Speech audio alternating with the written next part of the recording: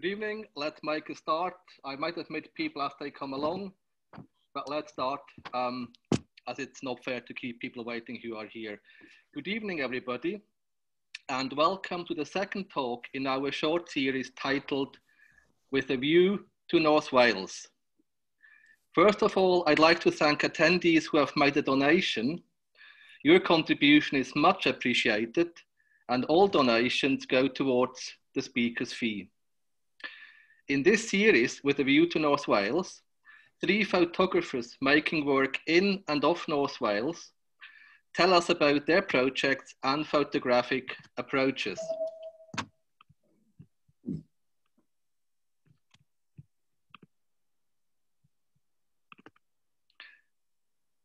A month ago, we had a splendid talk given by Ethan Beswick. The talk has been recorded and you can find the recording on our regional website. It's been placed on the RPS YouTube channel, so you can access it either directly by going through YouTube or via our regional website. And how do you find it on our website? If you go to Regions North Wales, you look down at the bottom hand right corner, you see a tile called Recorded Talks. You click on it, and there it is. You can also watch Robert Law's talk from last autumn, where he talked about his documentary project about Holyhead. Now, I can only recommend and highly recommend watching those two recorded talks. We will host Robert Law again this coming May, where he will treat us to a different talk. But now back to tonight's presentation by Hazel Simcox. Hazel graduated from the Blackpool College and from St Andrews University. Currently, she's teaching photography at North Warwickshire and South Leicestershire College. But as you are not here to listen to me, but to Hazel, I will now hand over to her. Amazing. Right. Thanks, Rolf. And thanks all for coming. Um, I need to find out again how to share my screen, which I succeeded with before. So let's uh, let's see if I can do it twice. There we go. Can you all see my screen? Yeah, lovely. Fabs. Right. Um, where do I start? So I'm Hazel. Thanks for the intro, Rolf. Um, and I put down here that I'm a member of the North Wales Project. I think this is a really important starting point for me to begin with. Um, I was invited to join the North Wales Project um, when Rob set it up a few years ago. Um, I felt extremely honoured to be invited to be part of it. I'd say probably the main reason being is that I am not actually living in or from North Wales, but I use North Wales as my photographic muse and for Rob to recognize that connection still within my work. Um, and also to see my work within the documentary strand, which is part of what the North Wales Project is about. Um, just it, I was just really honoured, and it was exactly what I wanted to be seen from my work. So to get that reassurance um, and the invite to be part of it was a really good starting point. So I'm not from North Wales. Um, I am from the other side of the border, uh, originally from near Cheshire. Um, and North Wales has always been on my doorstep. And as such, it's always been this kind of magical um, land. The other land that was just over yonder, it was where we went on holiday. It was where my ancestors were from. Um, it's this place that just resonated with me, the land of the dragons. And I've just always held it as this kind of like a magical entity the other side. Um, I'm aware there's obviously many, many strands to the narrative of North Wales, but I do look on it very much with those rose tinted glasses. So um, that obviously comes through my work and my approach to what I'm doing. Um, so within my work, oh, my slides aren't working. Oh, that's what you said might happen, Rolf, isn't it? It worked last time. Let me just stop that share and go back again, see if I can get it to work this time. Uh, let me try it that way. Oh, works in practice, but not in reality. It did work just before six o'clock.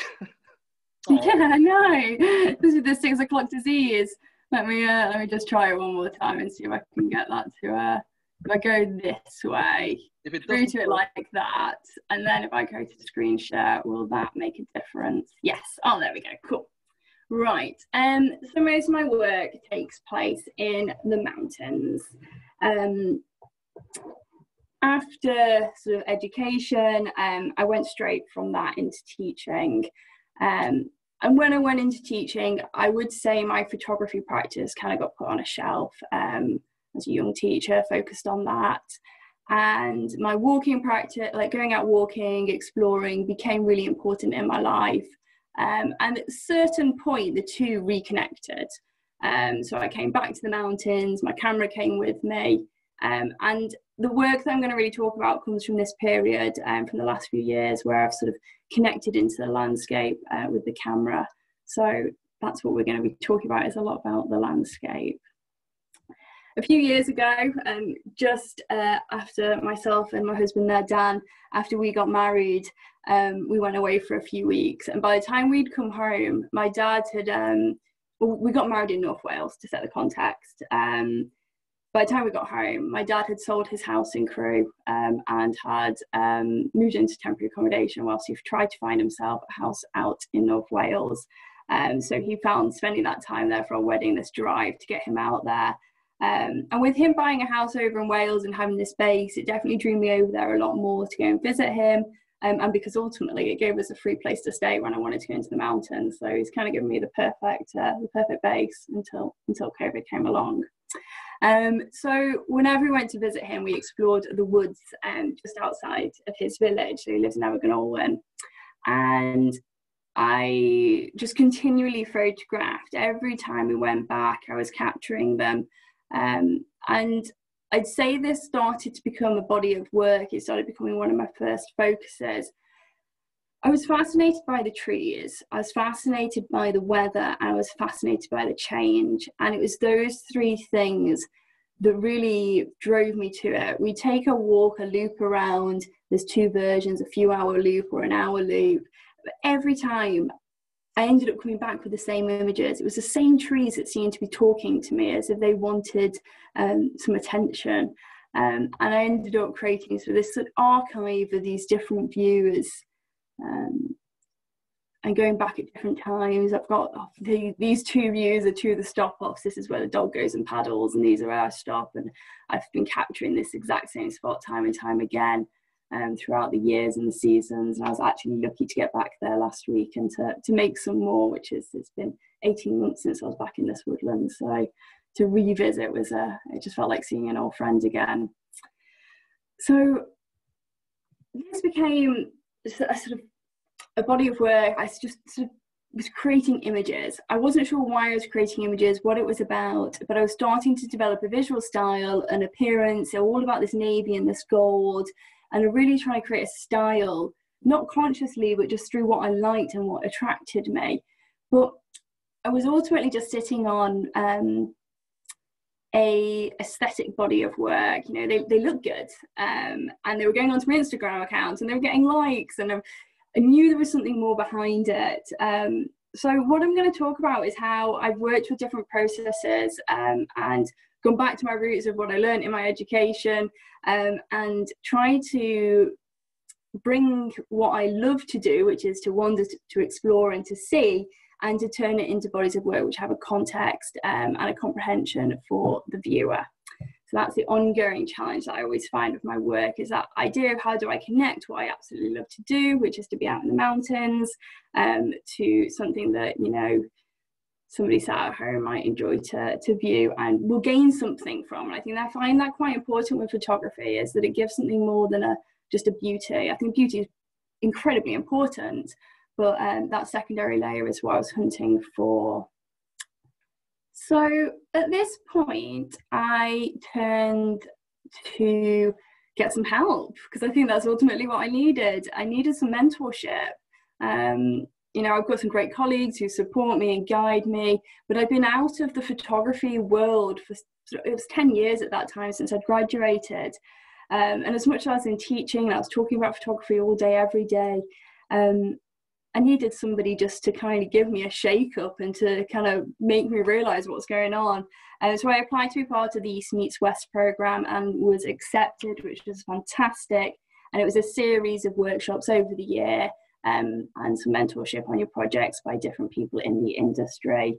Um, I went along to the first one with my archive of beautiful images, a um, little bit cocky, thinking they're going to go, yeah, they're great, and this is your concept um, and kind of got knocked off my pedestal a little bit, um, which I needed, I desperately needed. Um, and they, they sort of said exactly that. But when someone says it back at you, you're like, oh yeah, oh yeah, I need to do something different.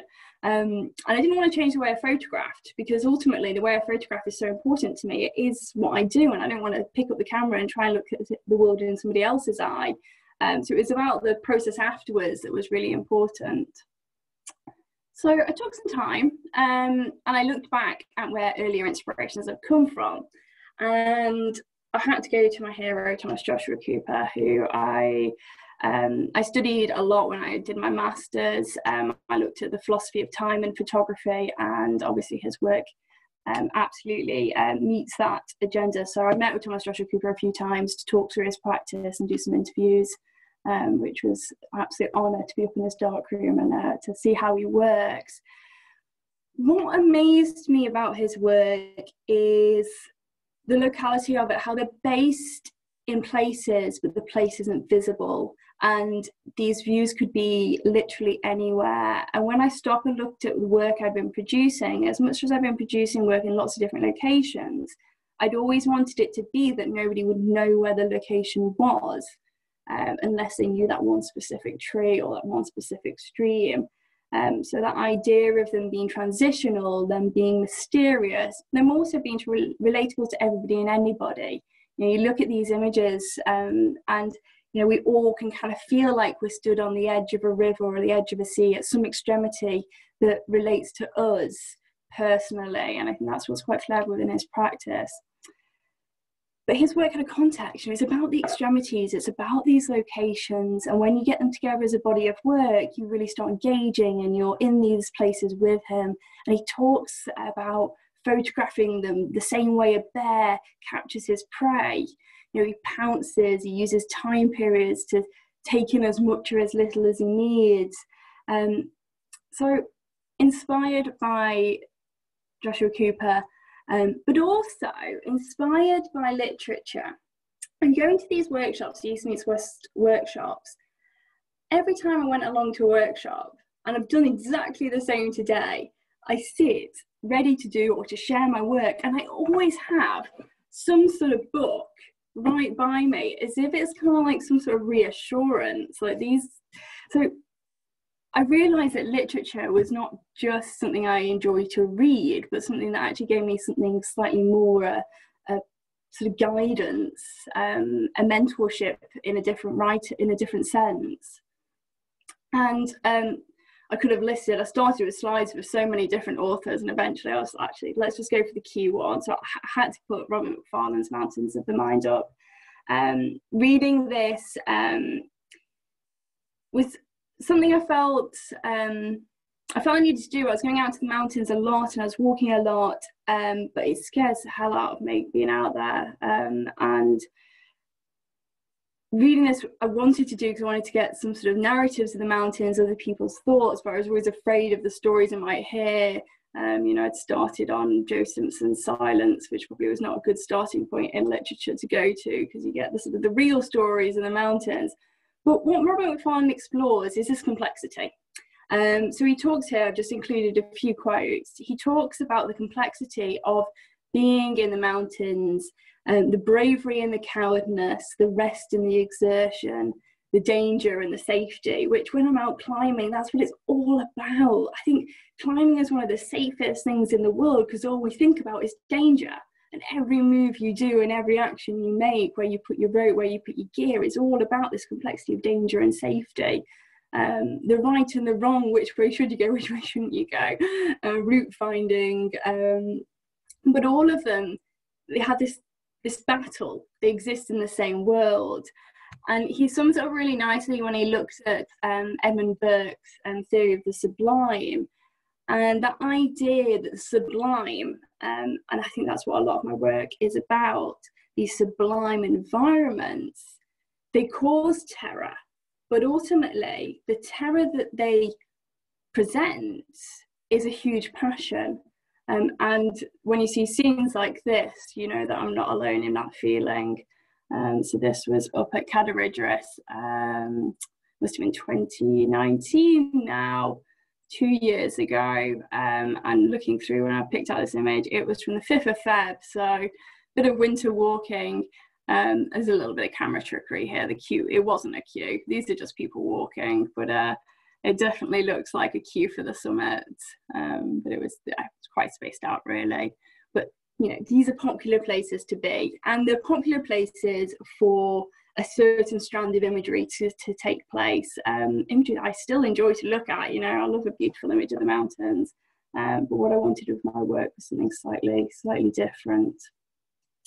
So all these people up on the mountains ultimately all of them having a completely unique experience um, some feeling fear, some feeling elation, some just, you know, this is commonplace and not a bother.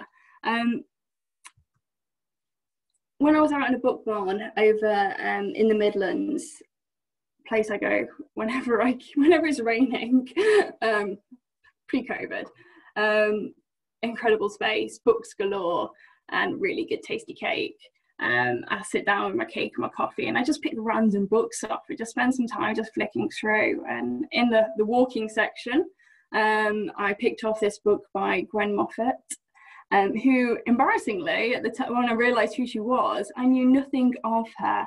So Gwen Moffat um, was or is she, she was born in 1926. She's 95 now. She lives up in the Lake District, um, and she was the first British mountaineer.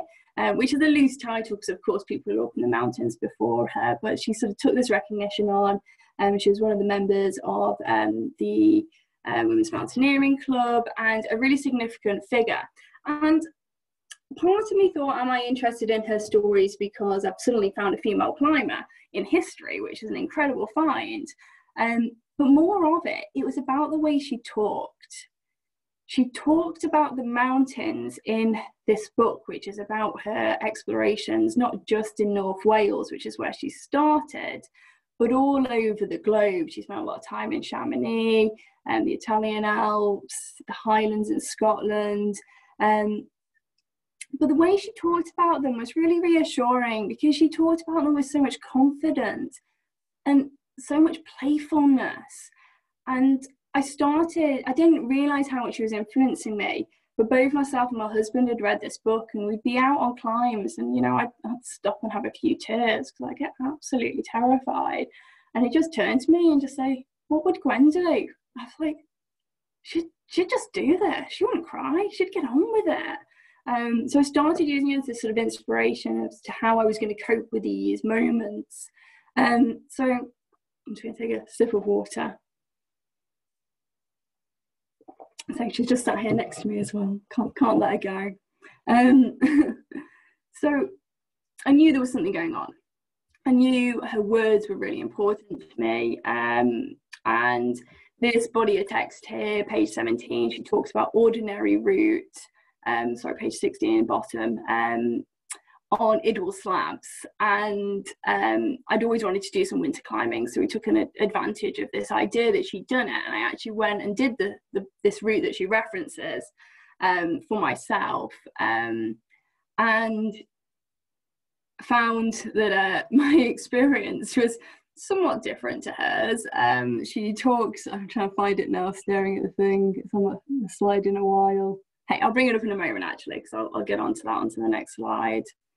Um, so here we are, yes, went off to Idwal. So this is the A5. Um, it goes through uh, Snowdonia um, and Tryfan is one of the favourite routes of mine, but we're only over here to Idwal Slabs, just up in the backhand corner. If you ever walk to the lake, you'll see it sloping at the back, looking super easy from the ground, um, somewhat intimidating once you're halfway up.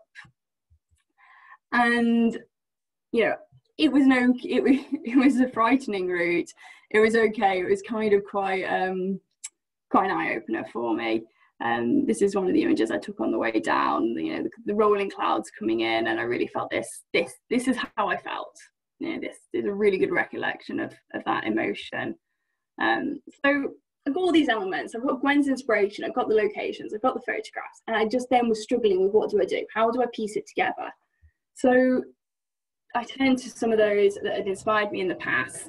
Um, Hamish Fulton's graphics, um, where he looks at how to present a walk without someone being on the walk, which I think for a, a walking artist or an artist in the environment is one of the biggest challenges. Um, and I'd, I'd use this as inspiration in the past um, towards this body of work, which you can almost tell how old it is from my horrific use of Instagram filters.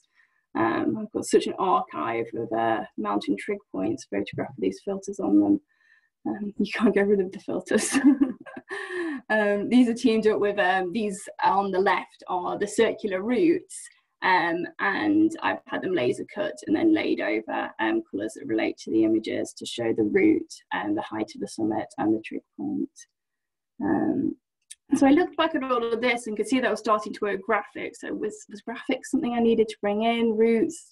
Is there something there? Um, I turned again to Richard Long, um, who also looks and is a walking artist who looks at the landscape. Um, and in some ways, looking at his work is a reassurance, but ultimately, it can also feel a bit like a barrier because when I look at what he's done, it's what I want to be able to do. You know, I, he's nailed a process, an approach um, that absolutely works for telling these stories of these walks. And if I was to have a go, I'd end up just doing a copy. And what I didn't want to do was that. So I felt all of a sudden like I can't do this. How do I put my images and text together when Richard Long is just incredible and I'm fascinated by his work? Um, and here in a transcript from his a talk he did in 1997, um, he puts here at the end, I'm going to I'm going to read these words about my work. Reality, time, memory, sleeping, counting, language, boots, solitude, maps, music, tent, humour, distance, intuition, experience, chance, and love. And I read that, I thought, damn, they're the same words I'd use, minus music, because I don't really have much engagement with music. Um, so like, how do I do this? This guy's mastered it. And within my teaching practice, I have the absolute pleasure of watching students do their presentations of their projects. And um, a student, um, was doing her dissertation presentation um, which they do before they finish writing it to sort of verbalize what they're going to write. And she was presenting to me um, about the Dada movement and Dada collages and Dada movement being, Dada means nothing, it means nonsense. Um, and she talked about how do you make a Dada poem.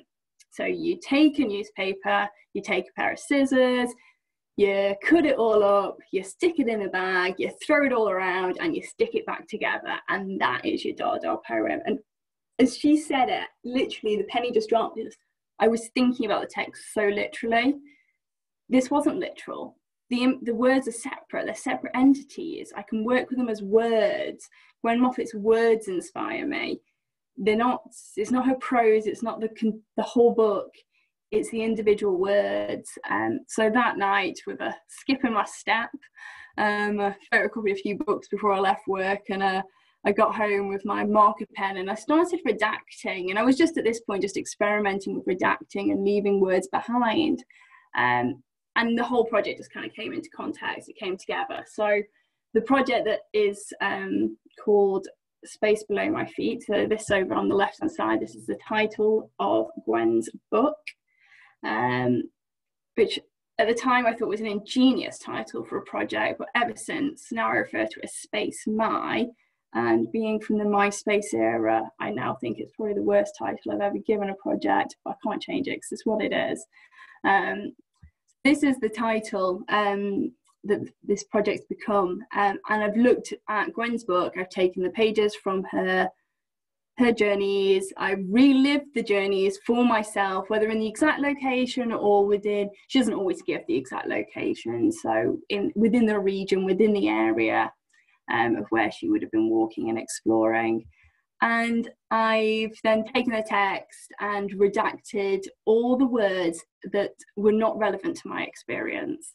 And what it left behind were words that are relevant to my experience, but come from Gwen's narrative. And I leave them exactly on the page where they were found. So the, the layout is consequence of that shared experience. So I, I feel in many ways this is a collaboration with Gwen.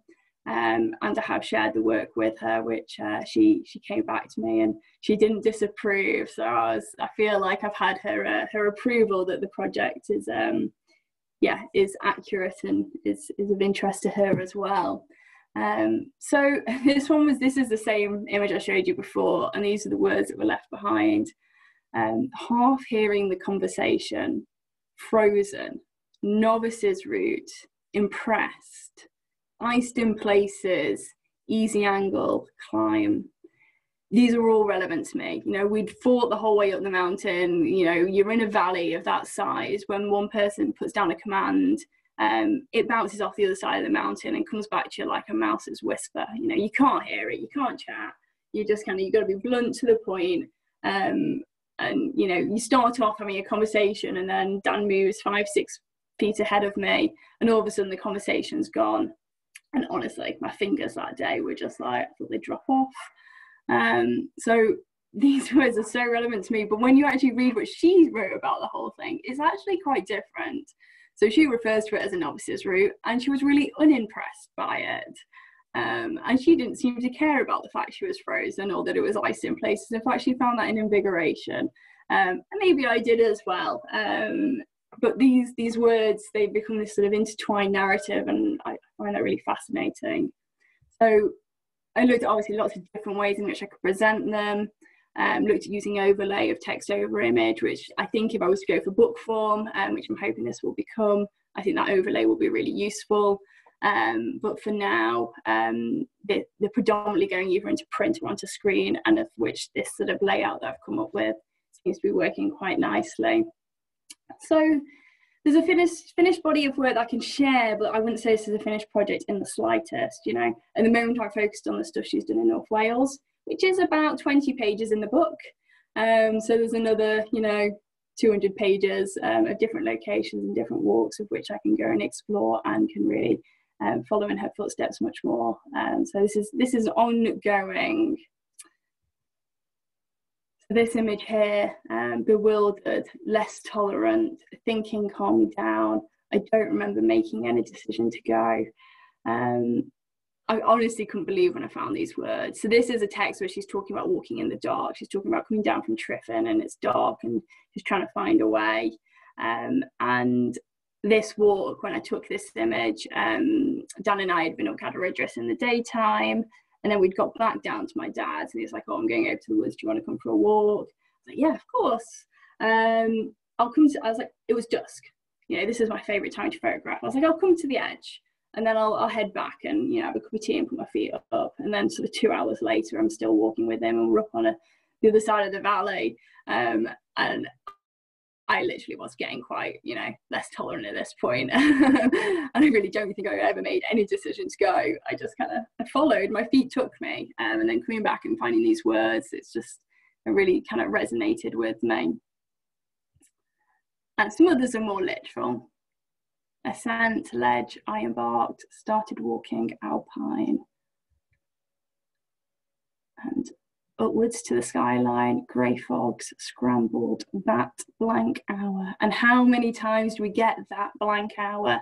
You know, you go up into the mountains and you suddenly hit the, the cloud line and you get up into it and all of a sudden the world's gone and you just have that time to yourself until you get summit and back down the other side and you come out of the clouds and you, you the world reappears before you um. And here's an image of it being exhibited over at the Oriel Colwyn um, alongside Rob Law's work over in the back there from our exhibition, from the North Wales Project exhibition that we put on last January, just before the lockdown. Lucky to squeeze that one in. That went up, uh, yeah, January um, and came down just before the lockdown. So and here is uh, a picture of me and um, some prints that I was preparing um, just the other week, which are on their way over to Germany um, to be included in a touring exhibition um, that's going to be going on called Facing Britain, um, which looks at documentary uh, photography in Britain since the 60s. So I'm really honoured to have been included um, into that. So these prints are on the way over. They got lost in the post to begin with. They're on their second journey over. Um, so yeah, and that's kind of that's where the project's at at the moment. So I think I include this as sort of a, a full stop on where it's at. You know, it's it's not finished, it's not completed, um, but it is it's in a form where I'm sharing it, um, and it, that just gives me more excitement to keep going with it. So I've got a few more projects to talk through. Um, I'm going to go a little bit quicker through the next one than I had planned to because I've, I've gibbered a little bit more on that one. Um, this is a it's a very much an ongoing project. It's very much in its its origins, its starting point. Um, this is a woodland in mid Wales um, that is part of the Welsh Plant Scheme. And the plant scheme is a scheme aiming to plant one tree per child that is born or adopted in Wales. And these woodlands um, started being produced about 12 years ago now. Um, and I'm not sure if they're on track with the number of trees in Wales, but they've connected over with a planting scheme over in Uganda as well. And they're now trying to plant one both in Wales and one out in Uganda. So it's a scheme that I find really fascinating. Um, I think it's, it's a great idea. Conceptually, it makes absolute perfect sense. So I went to this woods not knowing this, but you know, when you get there, you park up, you look at the sign and reading it, going, oh, this is interesting. And it actually made me walk around the woodland slightly differently. Um, at the time, I was shooting colour film, so I was learning the colour printing, the colour processing um, to teach the students at work. Um, so I was just out really just to get some images that I could take back and have an explore. But what really fascinated me was that these trees um, they were at the time 11 years old and they were just breaking out of their casing. So these plastic casings that they're, they're planted in, they were tearing their way out. And at the time, my students were doing a project called the Teenage Project, where they look at um, you know, the theme of teenage life, whether they are a teenager, whether they're a mature student looking back at their teenage life. And I was remembering um, a project that I'd done back when I was uh, studying at uni, um, which was looking at this idea of coming of age um, and um, sort of growing up in a rural community and how you can form through attending clubs in uniform. And all of these themes were sort of playing around in my head, um, but I didn't want to create literal photographs that were sort of the tree breaking out of the casing. I wanted to show these trees coming of age. And also the more I looked into this, this concept of the trees, I came to learn that it is it takes about 10 years before a tree um, is at its most productive in terms of its carbon storage. So these woodlands as well were just starting to function. So this idea of all coming of age, the trees coming of age, their functionality coming of age, they are young teenagers, the kids that were born and these were planted for them all started seem to come together. But again, I was left with that conundrum of how do I translate that into something that doesn't just show you literally trees growing out.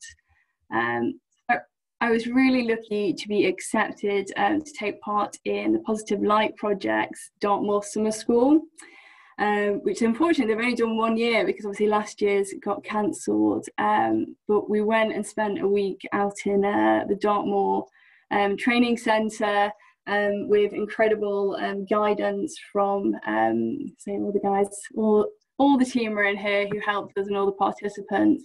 Um, but Susan Derges specifically was a, a, great support to me, and um, Jem Southam here. And it's Brendan Barry who set it up. I ended up on Brendan's workshop, even though it wasn't one I'd been aware of.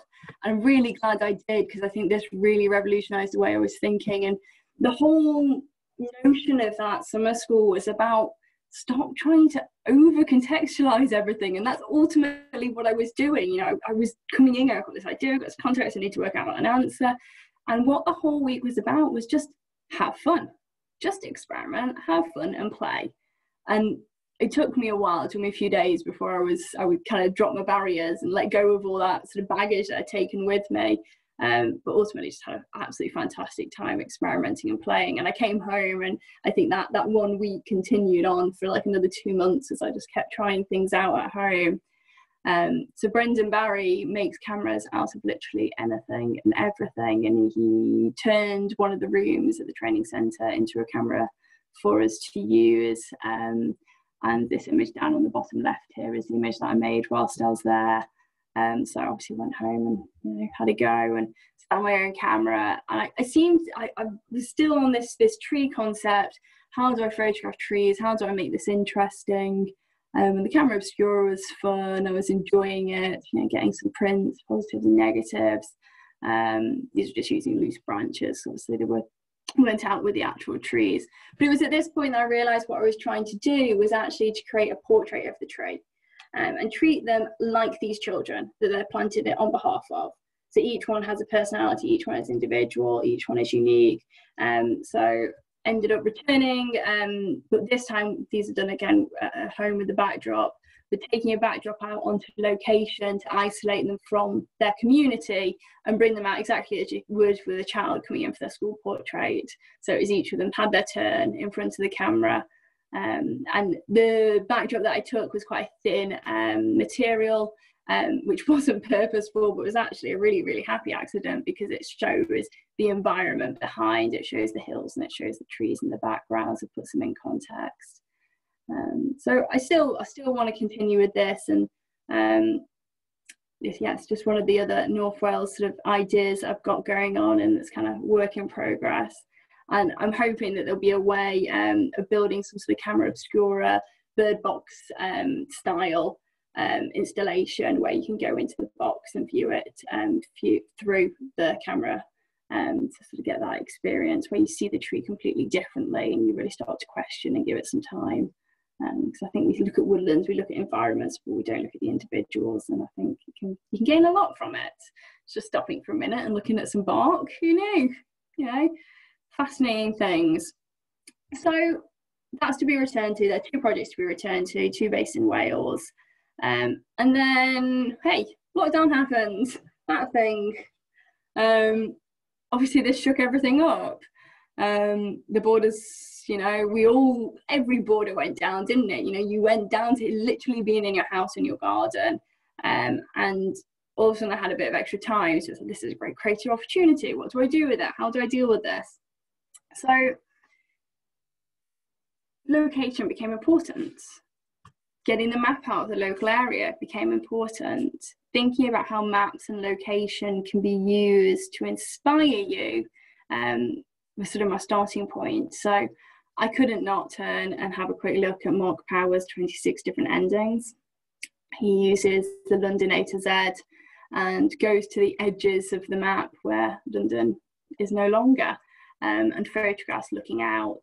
Um, so it's a very prescribed way of working. Um, and I felt like there was something here, this idea of being trapped into a grid space, um, however you define that grid space. We weren't literally, um, well, in Wales you were eventually, weren't you? You were put into a five mile radius, if that was ever possible. Um, in England, it always remained just stay in your local area, however you wanted to determine that. Um, so local area, so I think, what can I do? And looking back at Richard Long's work, this is something he's done in his practice, um, his Nowhere, a walk of 131 miles within an imaginary circle, 10 days and nights from Scotland, 1993. Um, and I felt about this idea of limitation. What could I do within limitation? What, what freedom could I find within what I'd been given? So maps are something always fascinated me. I honestly could just stare at a map for hours. I can just, you know, stick your head in it and explore. Um, and Richard Long talks here about maps. He mentions that maps can be used to make a walk, but a map is also an artistic and poetic combination of image and language. Um, but ultimately, a map could save my life. You know, maps have so many uses, and I really wanted to use this to start off something within lockdown. Um, so turning to the map um, and knowing we we we moved to um to Whitwick up here. Um, we'd moved to Whitwick just a year before lockdown, so it's still relatively new, still exploring. And the, we knew this path went out the back of the house, um, the Ivanhoe Way, and we hadn't yet had much chance to explore it. So this became a great opportunity. So it's a 40 mile circular, leaving Whitwick, um, walking all the way around via Ashby de la Zouch, which is um, how it gets its name. So Ivanhoe references the Ashley, Ashby de la Zouch Castle, um, and Ashby's really taken it on everywhere um, around here. Is either called Ivanhoe Business Park or Ivanhoe Ivanhoe College. Um, everything's named after Ivanhoe, the Sir Walter Scott novel. So I felt like there was something here. You know, I've got the Ivanhoe Way, I've got the Ivanhoe novel, I've got the map, and I've got this location, and we can walk this. Totally manageable. So started walking it, started exploring it, 40 mile circular trail, doing it in fragments, um, doing it in halves, um, doing it in both directions, forwards and backwards. Um, I think we just went dizzy around the Ivanhoe Way for close on three months sort of toing and froing. And I photographed as I went, but the one thing I set myself was to play on this idea of limitation and, and being trapped is I wanted to only photograph outside of the circle. So I looked at the um, the path as a boundary and I photographed only looking outwards, which felt like quite a limitation because there's so much exciting stuff looking inwards. But then it also forced me to really explore this other world. Um, so all these pictures have been taken looking out of the frame. But ultimately, for me, these line drawings, which look, you know, I've, I've got this on my website, and the line drawing to, to an onlooker just looks like a little doodle. But for me, the line drawings were actually the most important part of this project this was about memory. It was about how did I remember the walk. So when I was getting home, I would sit down maybe an hour or two later once my feet had stopped throbbing and uh, I'd had my can of Coke to get myself back alive. And I would draw how I remembered the route. So where the road crossing was, where a gate was, where we went to a field. There were really these kind of like little memories. And each time I did it, you know, they'd be different. You do it in one direction, the other direction, and these routes, you know, they're the really personal little experiences. So it's all tied together. Um, again with extra components. So I collected whenever we went off route or got lost, I picked up stones. Um, and you know, I also then looked at the text and the novel and the mythological elements. This, uh, you know, Ivanhoe is a is a story based within history that's completely made up and I really wanted to play on that within my photography that I could start telling that story through my photography but ultimately it's it's a fiction you know, this this is not this is not real world um, so the feather of an ostrich so I've taken similar to what I did earlier I've taken the text from the book and started working it in with the image with the with the images yeah so this remains ongoing. I think everything I do remains ongoing. I'm not very good at finishing anything off or putting anything on the shelf forever. But it led me into this curiosity of map, location, boundaries, um, and obviously the border between England and Wales was something that became really significant at this point. Um, so back, um, it's actually I think it was the I think the next slide says 5th of July. Yeah, this is just some text written up at the time.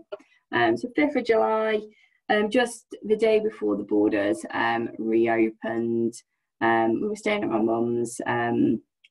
As her support bubble, and she lives just on the borders. Um, so I was just like, come on, last day, we can go over and see the border before it opens. What a phenomenon! This will never happen again. Um, so we went off to um, incredible little location near Whitchurch, the Fens and Whixall Mosses, um, which is um, such an interesting scientific and histor- historical place um, was used um, within the war. It's got all these unique lands. Um, so went off, um, you know, sign of the times. I think this picture just screams um, everything about the sign of the times. The gate shut, the NHS flag out, um, flag of the United Kingdom battered to bits. Um, so we went off. Um, so this is the location here. This is the map, and what you can see here in the map is the border that cuts straight through the fens. And anyone who's ever walked in a in mosses will know that mosses know no boundaries. Um, you don't know where you are. Paths don't exist forever nothing lasts forever in a moss. Um, you know, we were out in these mosses and we could have been in England and we could have been in Wales. And that's why I found this a really fascinating place to be because it's this idea of this enforced government ruling of location and with what you can do within your movement, but then the human reality and nature's reality of how that's not actually really possible. Um, so in the location, I was photographing this idea of borders and boundaries. So looking for fences or significant like moments that would show where the borders and boundaries were. And all over the moss are these um, sticks with uh, either a bit of material or tape. Um, and I assume these are identifying, um, you know, scientific reasons. I, am not sure on the reason exactly, but all over the mosses you'll find these um, they're not the England Welsh border. Um, they don't they don't follow a straight line. They are something much much less um, dominant within this narrative.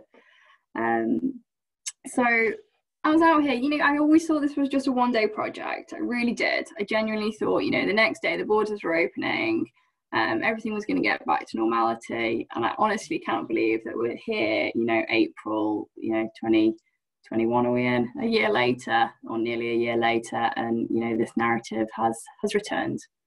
Um, so experimenting with different ways to explore laying them out and this idea of the unknown is the red signifying one country is the blue signifying another country. Are these borders showing this or are they not um, and again, I'm playing around with this idea of the uncertainty, the maybe, what if, does it matter, who cares?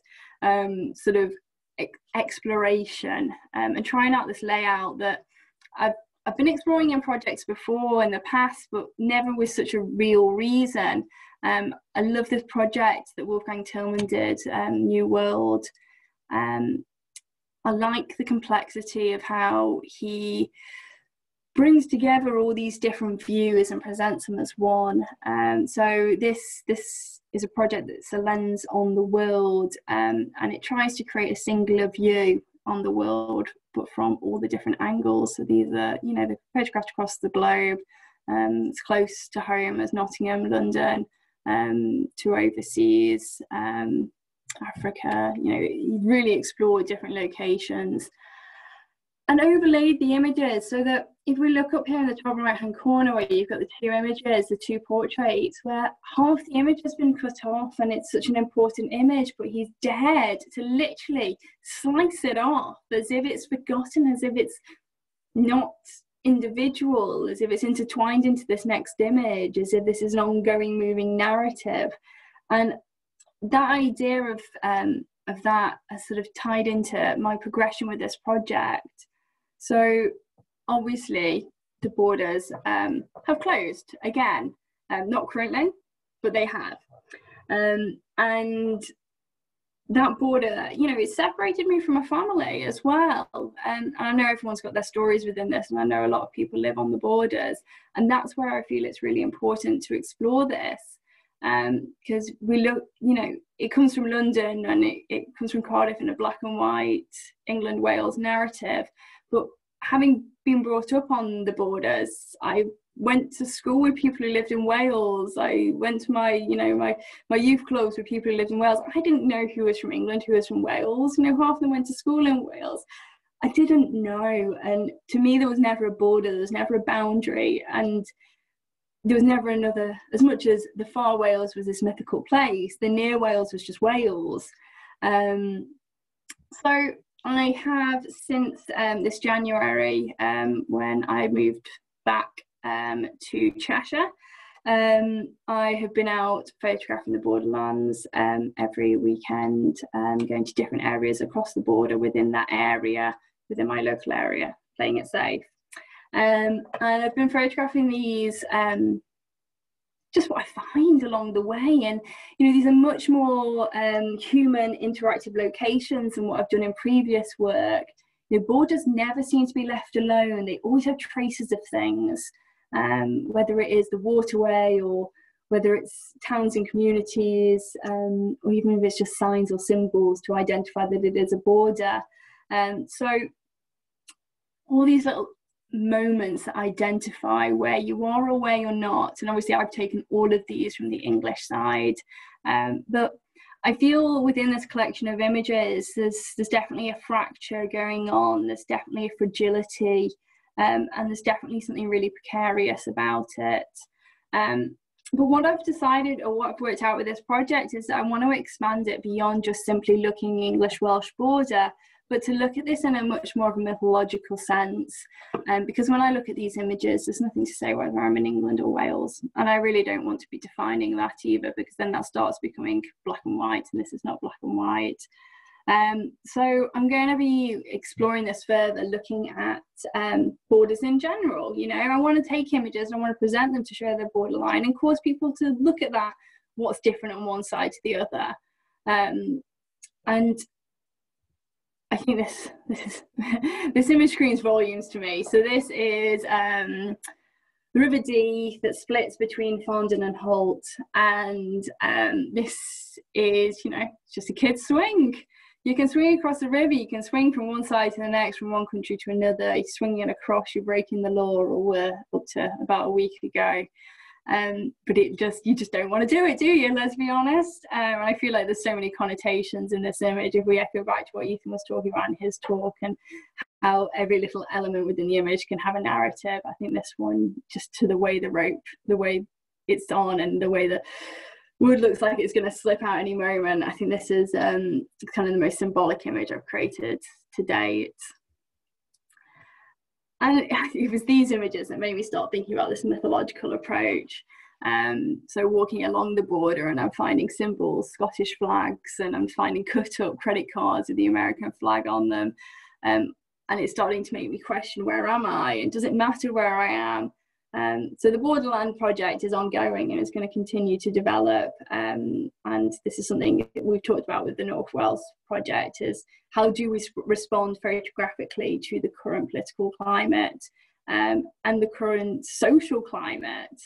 And this is this is my response to it. And I want to open it out um, and start talking more to the people who are on the borderlands and who are experiencing this new this new way of life. You know there's so many rules when you live even in the midlands of england but never mind trying to comprehend these different complexities of rules that are going on and the uncertainty of it. And i'm sure there's lots of different opinions within there that i definitely want to try and just um, absorb and allow that to come through in my photographic practice. So obviously the cross-border travel has now resumed um, when I put this to started putting this together, it was from tomorrow. Um, but that was that was a few weeks ago now, um, and I have had the absolute pleasure of finally going to see my dad, um, who is absolutely fine. I was I don't think I was really worried, um, but he lives without internet out in uh, out in Wales. I've not not seen his face for some time, so to get over there and uh, yeah, he's uh he's, he looks like a wild man. He's not not cut his hair or shaved in months. Not that he needed to, he's always cut his own hair, so I don't know why. I think he just wanted to join in the lockdown uh, journey. But he's absolutely fine, and it was nice to be over again. I got to explore up in the Rhinogs and have a have a wander. Um, and get back to Abergynolwyn Woods. Um, so here are just two images that I've taken um, on this time. Which strangely, I came away and looked at my camera and I started shooting in portrait, which uh, you haven't seen that in any of my work. It never, never seems to happen, but uh, here it is. Um, so just to finish, I just wanted to leave you with my list of words inspired by Richard Long of what is my photographic practice about. And my work is about land, it's about literature, it's about maps and walking, experience, sharing, belonging, environment, passion, history, and a sense of flux. Nothing is certain forever. Thank you.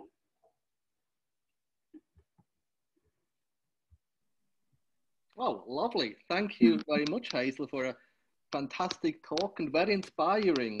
Oh, thank and you. I found very inspiring to see how you approach your projects, the methodology you use, and how you rely on other sources and artists, be they photographers or writers, and then take it from there and build on previous artworks and ideas. I think it's great because I myself sometimes feel a bit hesitant because I feel like, oh no, it, it, it might be too perceived as probably copying or imitating, but of course it's not. It's not at all. Yeah. So to break down this barrier in my head, I, I, I think it's really reinforce the message there. Go out, look what has been done, and build on it. There's nothing mm-hmm. wrong with it. Fantastic. Um, the audience is um, invited now to uh, ask Hazel questions, either via the chat function or unmute yourself and um, speak to Hazel directly. In the meantime, while you type or formulate your questions, I would like to um, uh, point out a sentence I've read actually this morning, and it relates to what you mentioned at the beginning of your talk, Hazel. When you go out into the landscape and you start thinking about how can you convey um, what you feel and what mm. and the way you respond to um, to the to the to the landscape. And of course, many photographers say, "Oh, you have to go out with a concept, with a project in mind, because that shapes and focuses the way you look at."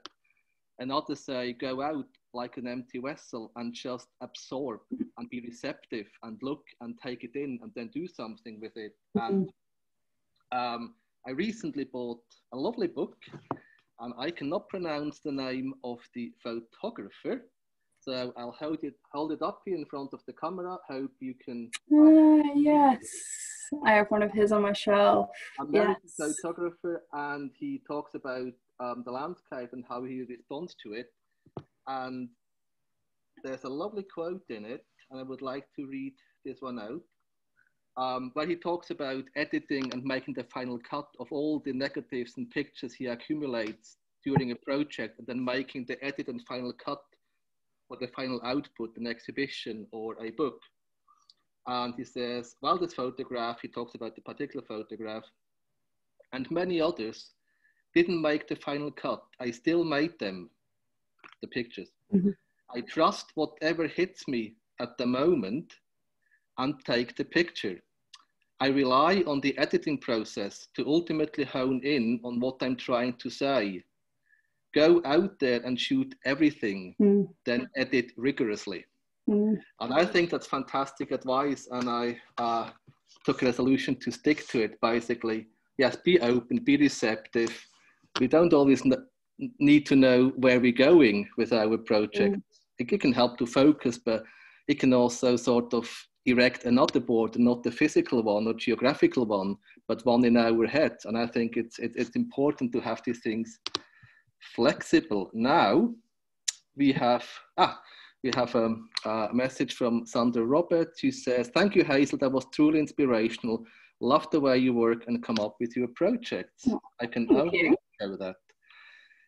Thanks. Now, anybody else would like to uh, ask Hazel some questions or comment on something or share um, your own experience, how you approach a landscape, how you approach projects, uh-huh. I'd love to hear, yeah, the differences between how people work. I think landscape is one of those things that's um, it's a really personal location to be in, and the way you respond to it's really personal.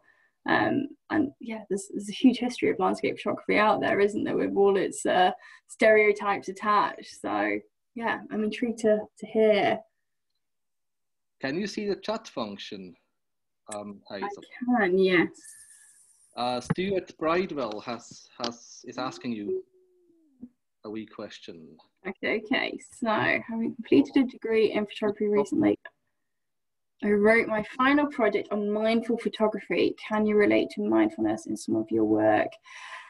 Absolutely. And I think this is the complexity that I dealt with is my practice of going out and making photographs is completely a mindful experience. It's being in the mountains, being out, putting um, fear and adrenaline into my system is all a mindful experience. And I need that for myself.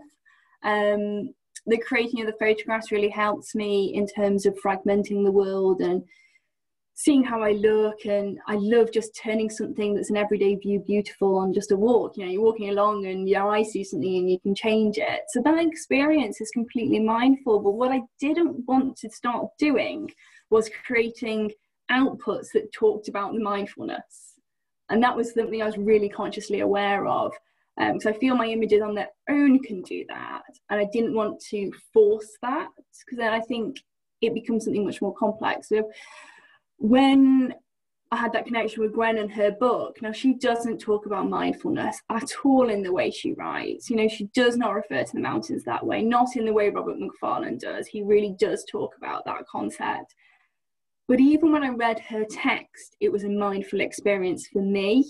Um, and that's what I was really conscious of is that the mindful and the personal experience is personal. And what I wanted when I share my work to the viewer is to enable the viewer to get their experience and their um, mindful requirements or, or completely separate from that.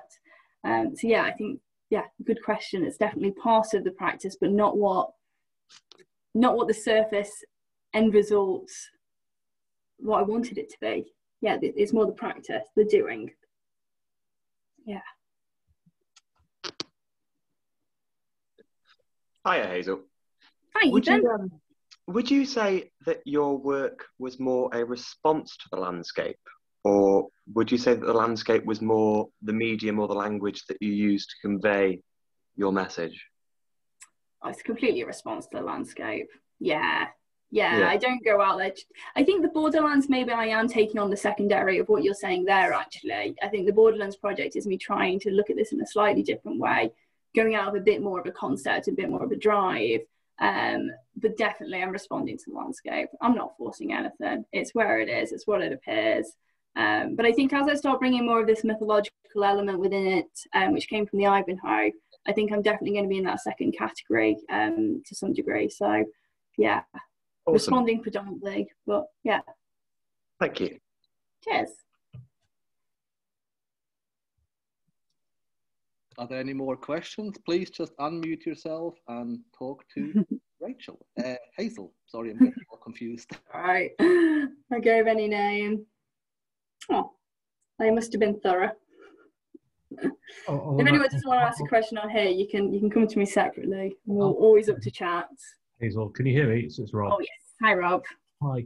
Um, I'm really sort of inspired by the fact you've just gone beyond photography um, and you know combining text uh, to, to, to, to really get under your skin. Have you got any suggestions of any other sort of media you would play with or we could use along with photography? You know, something maybe maybe audio. Have you thought about that? Or some people use found objects, don't they? Uh, you, you, you did that. You had a picture of a feather, didn't you, uh, with your Ivanhoe series? Any more ideas of the things we could incorporate into uh, our photography that go hand in hand with the images? I think everything and anything. I don't think there's a limitation on that one. You know, the maps, the text, um, objects. Um, I've done audio recordings in the past, and you know, a bit of moving image. I think we um, we t- we try to be quite medium specific, and I think it's something that I've always tried not to be in my work.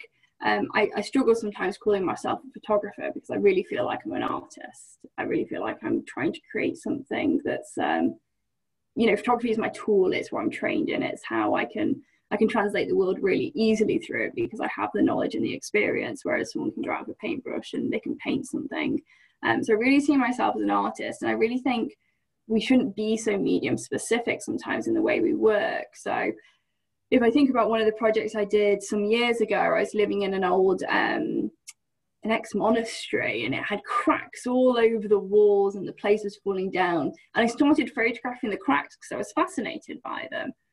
But as I tried to explore it, I eventually realized that what I needed to do was not photograph the cracks, but actually recreate the cracks because I was going to be exhibiting this body of work. So instead of exhibiting photographs, I exhibited sculptures. So I took imprints of the wall and put the imprints into the exhibition to show the building's um, fragility. So I think you can take any medium. Um, I've, I've kind of, I've, I've definitely leaned on and I'm very reliant upon photography at this moment. And obviously that's what I talk about and teach every day. Um, but I do think you can, anything. I think sculpture is incredible. I think photography and sculpture are almost the same thing. They're just, you know, and found objects. Thanks, Hazel. So it's not all about the camera then, is it? I really enjoyed the talk. Thank you very, very much. Thank you. Cheers.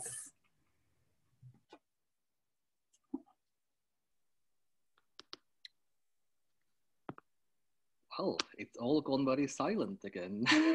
a question has just popped through that I've just seen. So from Becca, I feel there's a real sense of bravery about the way you've chosen to capture simplicity in your images of the trees. I find it really challenging to capture everything that I would want to in an image that is so simple. How do you manage to do this? No idea. um, obviously, I the framing is so important. Um, and not to talk too much technical, um, but I do shoot always on a 50 mil fixed um, because it forces me in terms of the way I look at the world um, and how I I can get really in tune with my environment. Because if I had a variable lens, I would be able to take a distance and make it near ground, and take a near ground and make it distance. Whereas when you're on a fixed lens, it forces you to always know when you pick up your camera what part of the tree you're going to capture or what part of the landscape you're going to capture. So you get so much more in tune with your tools. Um, so I do think having that fixed lens enables me to know whether I need to take two steps forward before I've done it. So I can look at the environment, take a few steps forward. And for example, this this waterfall, the Abergynolwyn Falls, um, you know, I could have put in the skyline at the top, but I very, very consciously didn't want that because it had blue tone in it. So I knew I needed just to step up a little bit before I took the photograph to give myself the space around it to be able to capture that. Um, so I think it is very much being in tune with your tools and knowing what you do and don't want to include. And I think I, I leave out a lot and I leave in only what I need. Quite selective. Mm. I think it's a real challenge to you know, kind of strip everything away which doesn't need to be in the picture, remove mm. all the extraneous detail and really focus on it. Because I think intuitively we have the tendency to pack loads into it mm. or not being aware what's in the picture around the frames because we know what we want in it and that's what we focus on. But of yeah. course, our perception is already filtering everything else yeah. out until we look at the picture it's always helpful to look at your pictures in a mirror or backwards because all of a sudden you see those things that you thought you'd left out, they're still left yeah. in. Yeah. Uh, so just yeah. flipping an image, all of a sudden you're like, oh, oh gosh, I thought, oh, it's wonky. I didn't think it was wonky because your head straightened it up. Um, but yeah, they're, they're little games you can play, which are just a bit of fun, really. Yeah, yeah, yeah, yeah. All right, thank you. If there's no other question or comment, then I would like to thank Hazel again uh, to deliver this talk to us tonight. Very inspiring, deep, full of meaning. And I would also like to thank the attendees to come along tonight and ask questions and give that lovely feedback.